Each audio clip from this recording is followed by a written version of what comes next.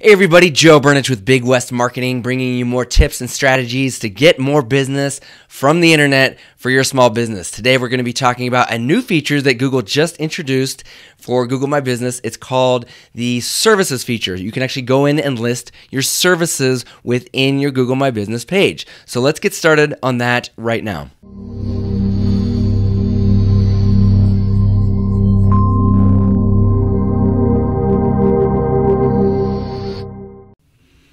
Okay, so here I am at Google. I'm going to log into Big West Marketing Google My Business account. So I go to business.google.com. That's how you get there.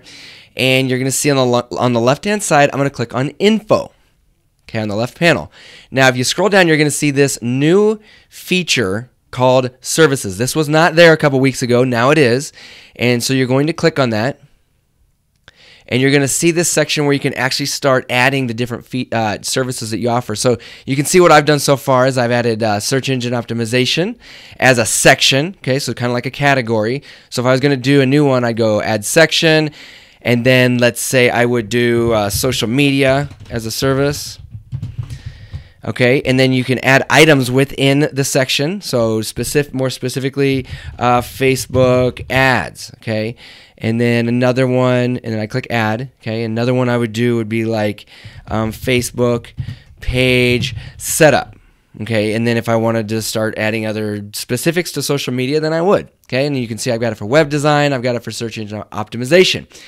You can do the same for your business depending on what kind of services you offer. So, for example, you could have a section for commercial services and list all the specifics commercial services you offer, and then another one for residential services and list all your residential services. That's just an example. Now, I want to make a word of caution here. Caution, caution, caution. What you do not want to do is start putting a bunch of spammy keywords in here just to get rankings on Google. We don't even know how, how this will affect rankings yet, but I can almost guarantee that if you start stuffing these with a bunch of just keywords and make it look spammy, then you're probably going to get penalized. I believe Google is out there fishing for this kind of stuff. So caution on that, all right?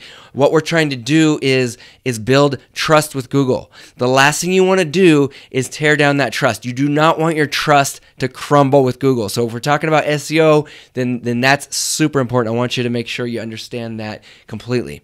All right? And the next thing I want to show you is so so check this out. If we go to the desktop computer and we type in Big West Marketing, and you're going to see my little panel here that shows all my business information. You're going to notice that on the desktop or on a computer, laptop, whatever, it's not going to show the new services I just added.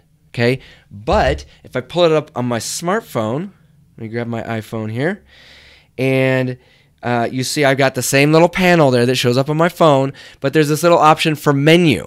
Okay, and that's where your services are going to be located on menu. So I click menu, and there you can see, hopefully you can see that in the camera, but just know that it added all those services that I, that I um, placed in here. Okay. And so what does that tell me? That tells me that this whole mobile first revolution, uh, revolution where, where every, everything needs to be designed or dedicated first towards a mobile phone since 80% of the people that find you, whether it's a website, whether it's on Google, whether it's on Facebook, I don't care. 80% are going to be on their smartphone. So let's start getting in the habit of designing everything towards smartphone. Let's start anytime you make a change to your business, Google My Business, your website, it needs to be first um, considered what it's going to look like on a smartphone. That's so important. And you can see the proof here. Google is showing it only on a smartphone. They're not even giving you an option to see it on a desktop. So the mobile first stuff that I've been talking about, if you've seen my other videos, is super important. All right. So that's it. That's the new services feature. I want you guys to be aware of it, how to add it. Of course, if you are an SEO client of ours, we are going to do this for you. So you don't need to worry about it. We're going to do it. We're going to do it correctly. In case you don't need to call an email if you're a current um, paying SEO client of Big West Marketing.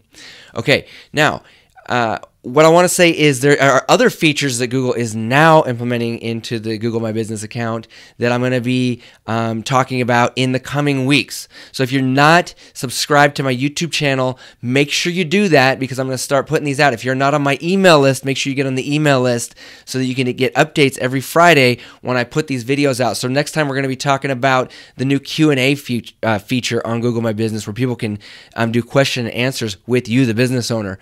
Uh, there's another another um, attributes uh, tag section that we're going to be talking about. There's all these new things coming out. I'm going to keep you guys updated. I'm going to stay on top of this stuff so that you don't have to, but make sure you stay tuned to my coming videos and coming email blasts. All right.